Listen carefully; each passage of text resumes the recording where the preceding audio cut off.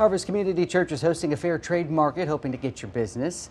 That fair trade market happening next week with items that you won't get anywhere else. Nikki and Kim are here to tell us all about what is for sale and what this all benefits. Ladies, thanks for coming in today. Thanks for having us. Wow, you've got some great stuff here.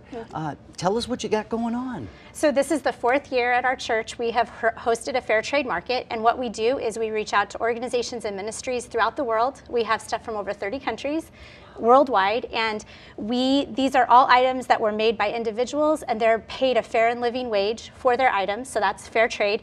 Um, this allows them to buy you know, school fees for their kids or uh, medical care or all those things that folks who are either impoverished or marginalized throughout the world may not be able to afford otherwise. This is a place for us to sell their goods so that they can make a living wage. Wow, that is amazing. And you have some beautiful items here.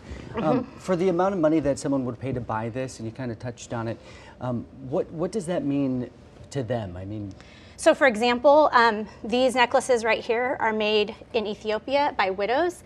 Their husbands were killed in the conflict between Ethiopia and Eritrea. They make these out of jewelry. These are women who wouldn't have a source, or I mean, sorry, out, this jewelry is made out of bullets. Sorry, and it's a Bullet source. casings. Bullet casing. Sorry.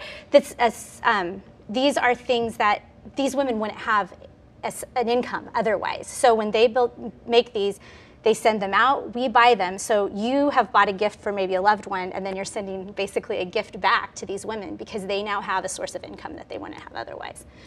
So we support, for example, these are made by um, students at a deaf school on the Tex- or Texas-Mexico border.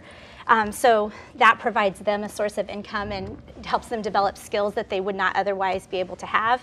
Um, we work with organizations who help women coming out of trafficking, um, So especially it- in Asia. Wow, so many incredible things. Just it, it opens your eyes to what, Yeah. what else is going on in the world. And I suppose when people come uh, to purchase, they can find out more about each item as well, huh?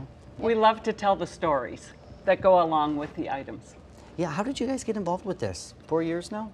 We've been doing it for four years, so We met somebody who was doing this in Cincinnati, and she tutored us and gave us a list to start with, and we've made a lot of our own connections now. And um, Incredible. And, and so when the fair trade, it's the 15th and 16th, the market. yes. yes, So on Friday, it's from t- 10 a.m. to 7 p.m. Um, on Friday, and then we'll be there from 10 a.m. to 4 p.m. on Saturday the 16th. And it's at Harvest Community Church, which is at 3903 Cuming Street. Great. What kind of prices do these types of things go for, real quickly? We have things for two dollars, and we have things for two hundred dollars. Wow. And there will be between four and five thousand different items. wow. It's just We a, fill many rooms. just a taste of what's uh, to come and helping a lot of people. Ladies, thank Right. you so much. Thanks for coming in. Thank you.